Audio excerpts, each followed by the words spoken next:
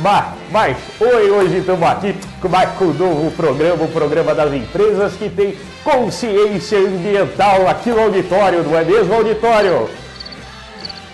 Mas, mas não vem ninguém, Rock, não vem ninguém. Mas a você aí de casa, você que tem uma empresa que tem consciência ambiental, faz o seguinte, acessa o site vai planetivete.com.br patrocina esses meninos, esses meninos têm futuro. Fala o telefone aí, Lombardi. 3, 3, 2, 6, 9, 8, 7, 3. Mas, mas obrigado, Lombardi. E você aí de casa, se quiser patrocinar o projeto Planet Invest, entre em contato com esses meninos que sua marca vai valer mais que dinheiro. E agora eu tô indo embora porque eu não vou perder o próximo capítulo do Planet Invest. Tchau.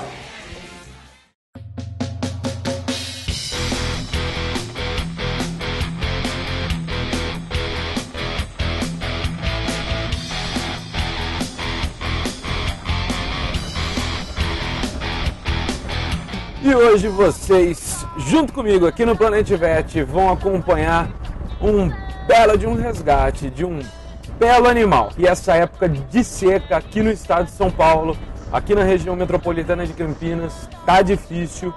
E isso aumenta a quantidade de queimadas que tem acontecido aqui na nossa região. Não só os seres humanos, mas como os animais têm sofrido as consequências e sérias consequências por causa dessas queimadas. E nós estamos indo resgatar mais um animal que perdeu seus pais, porque é um filhote, por causa das queimadas. Vamos embora. Não, está bonzinho, ele está dormindo só. pela Anguera. É filhote de cachorro do mato. né? É? Mas essa peca, hein? E como é que foi? Como é que vocês acharam ele? Então, Na meu pista. filho... na- na- meu filho vindo de Jundiaí pra Valinho. cá, é, Valinhos. Ele Tá. foi pra Jundiaí e entrou em Valinhos. Valinha e Campina. E tá no meio da pista. Quase que o carro atropelou ele. Olha que belezinha. Ele tá no meio da pista. E o moleque parou quase em cima dele. Machinho. Um machinho. Ele fica de porte médio. Ele fica marrom ou não? Não, ele fica cinza. Ah, ele então. fica bem cinza, É parece um lobinho. Puxou na internet. É. E acharam na beira da pista, mas por causa das queimadas, Ela é né? queimada. Eu acho que a mãe dele, os irmãos, devem ter morrido queimado. Comendo bem. Come uh, carninha E brinca, de frango, viu? brinca o tempo inteirinho. Novinho ele Você pega ele na barriga dele assim, ele faz assim. Mas come carne, viu? É Parabéns pela atitude, viu? A nossa Zoológico. clínica é na Chácara da Barra, na rua Mogi Guaçu, na Chácara da Barra, em Campinas. É, pessoal, essa é a prova de que as queimadas estão literalmente ferrando com o nosso ecossistema, com os nossos biomas. Você pode ver que uma mãe, um pai, os líderes da matilha, a gente não sabe o que aconteceu. Os irmãos provavelmente, infelizmente, morreram na queimada. Agora sobrou esse filhotinho, esse machinho, que agora vai para a clínica, vai passar por uma avaliação, a gente vai fazer a coleta dos exames, vai alimentar, vai recuperar, adaptar e ele vai para soltura. Vamos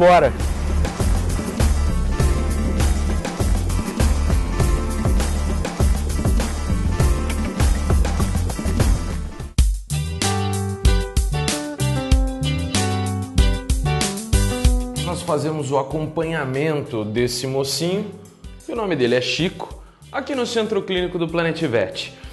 O que, que acontece? O Chico, esse filhote de cachorro do mato, é extremamente ativo. Esse carinha é muito rápido e é a diferença grande que a gente vê entre os cães domésticos e os cães selvagens.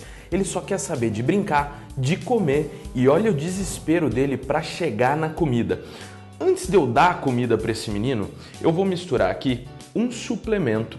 Esse suplemento é para aumentar a imunidade, já que esse carinha aqui perdeu a mãe e não consegue mais mamar. Então o que nós fazemos? Nós misturamos esse suplemento em comida natural. Essa comida é a base de arroz, cenoura, carne de frango, fígado de boi, couve, brócolis, bem parecido com o que ele pode achar na natureza, já que esses bichinhos aqui são onívoros. E olha a voracidade que ele vai até o alimento.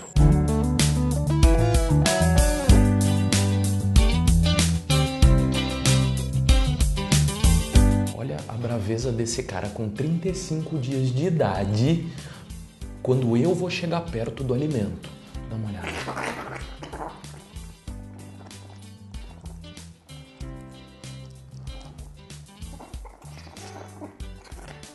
Isso aqui, isso aqui é excelente, é excepcional. Um animal desse tamanho, já defendendo o alimento, é o que ele faz na natureza. Ele disputa a presa com outros cachorros do mato, com outros animais selvagens. Então isso é fundamental para a adaptação desse carinha aqui conseguir ser reintroduzido depois. Dá uma olhada. Essa parte de disputa é fantástico e é o que ele vai fazer com os irmãozinhos dele. A hora que a mãe chega também com o alimento e começa a oferecer, ele tem que disputar com os irmãos. E é isso que eu estou tentando estimular. É que ele se defenda, é que ele fique bravo. Esse processo de adaptação para a soltura começa agora. E eu vou mostrar para vocês como que a gente vai começar esse processo aqui para ele ser encaminhado para outro local para continuar esse processo de adaptação.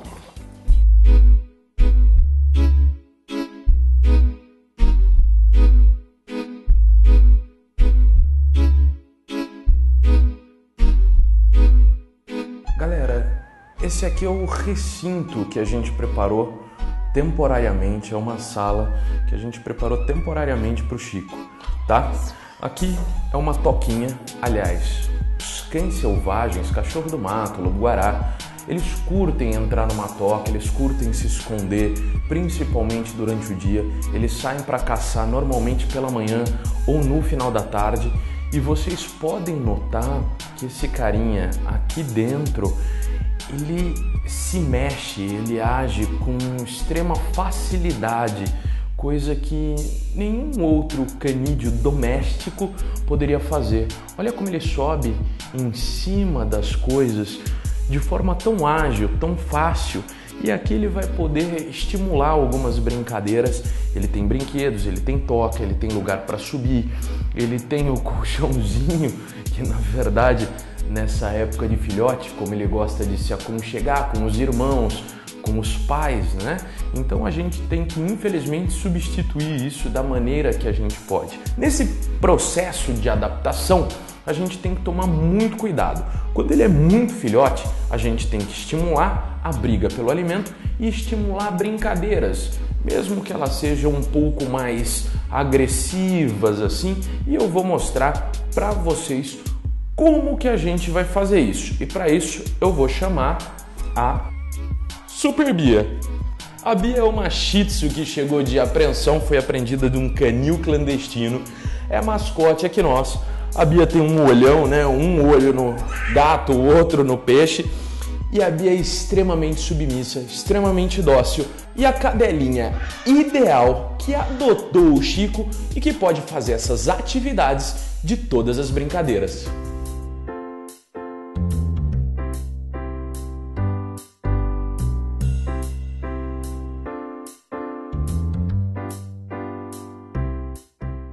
Esse processo, essa interatividade que o Chico está passando aqui com a gente é de fundamental importância para que ele consiga um dia voltar para a natureza e bem longe desses pequenos fragmentos de mata que constantemente sofrem problemas, que animais são atropelados, que cada vez mais espécies ficam órfãos porque o ser humano tem atrapalhado e muito no desenvolvimento e na sobrevivência de diversas espécies. E a gente fica por aqui, na esperança de que o Chico um dia possa voltar e encontrar uma família de cachorro do mato. Ah, galera, se você curte o nosso trabalho, faz o seguinte: vai lá no YouTube, se inscreve no nosso canal, entra no nosso Facebook, curte nossa página, entra no nosso site compartilha. Assim você vai estar ajudando a gente a ajudar a nossa fauna. Eu fico por aqui, até a próxima semana no planetvet.com.br. Tchau!